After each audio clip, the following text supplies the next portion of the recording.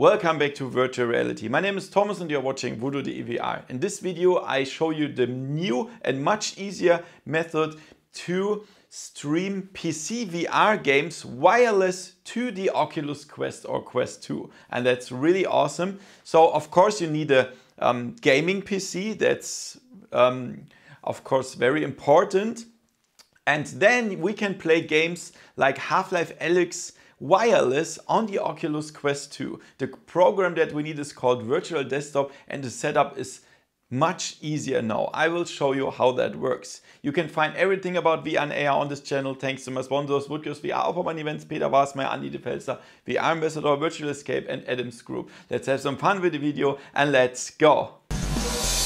Voodoo.de So guys, first you have to download the virtual desktop app for your gaming PC. So that means you will go on the webpage vrdesktop.net. You will find all the links in the description below and it will open this page and you will download the streamer app here. This is an exe file and this uh, you, you just uh, save it here on the desktop like this, double click and then uh, next, next, next, finish. and then you can, only this app opens. You only need this, there's nothing else. So what you're first gonna do is enter your Oculus username. And it's very important that you write it exactly how it pops up in the um, VR app on the Oculus Quest. You will see that later. So at first time I wrote it like this and that was wrong lowercase, for me at least, you will have to see, you can use different username and then click on save.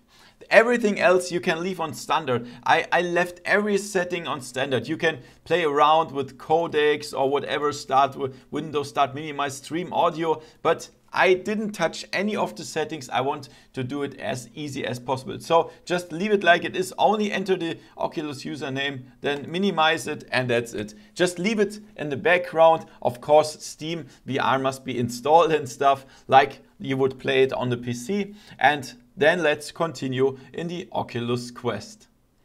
Okay guys, welcome inside the Oculus Quest.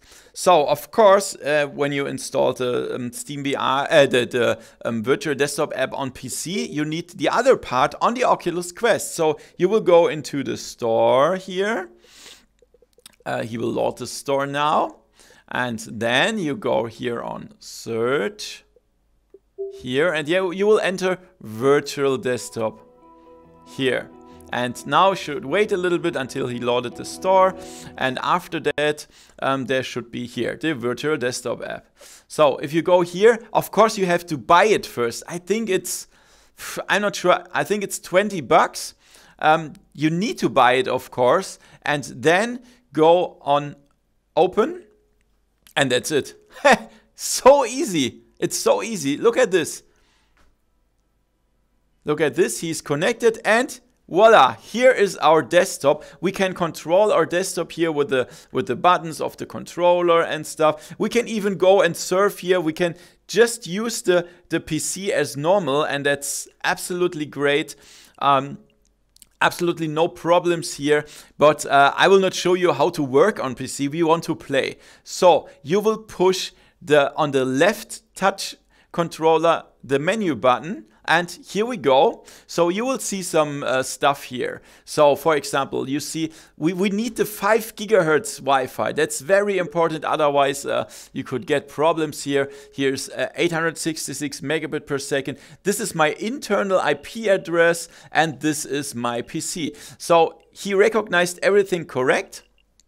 And then you can uh, click there or you can just uh, click the menu button again and go back on your desktop.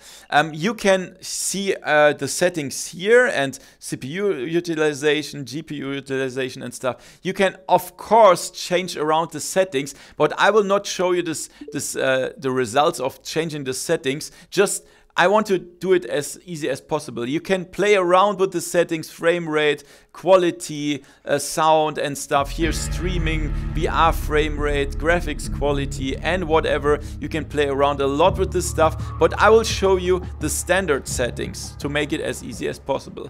Go on games here, that's very important, go on games and then you can see all the uh, recognized games um, for example, I installed Stormland, you can play the Oculus games here, and here are my installed Steam VR games.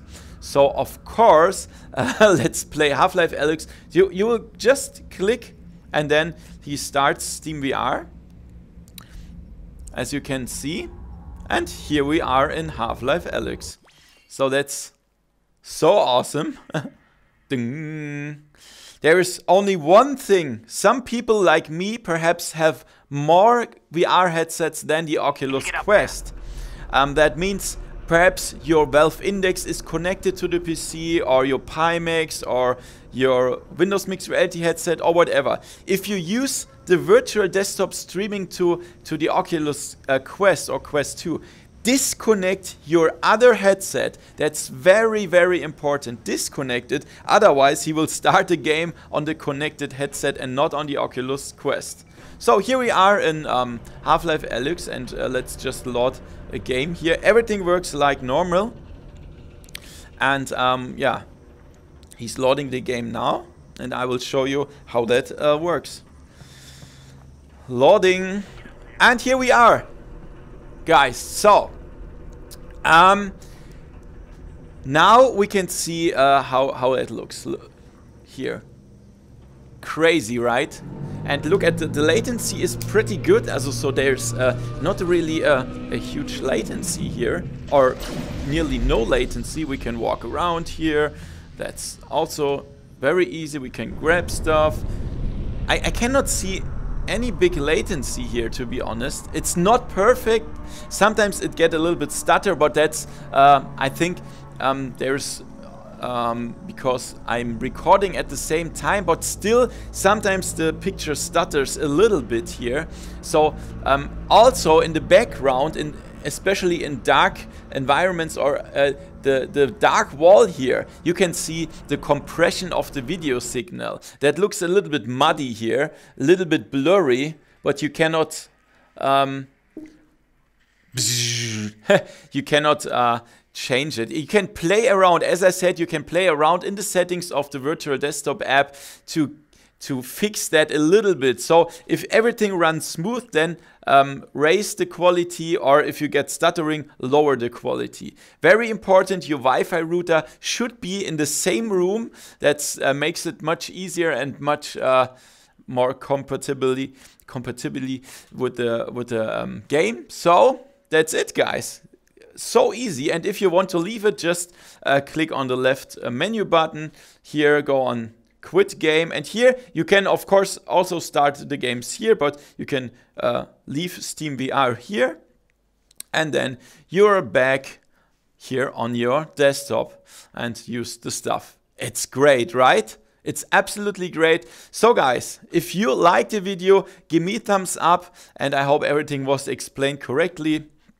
Thank you for watching and see you next time in virtual reality. See ya!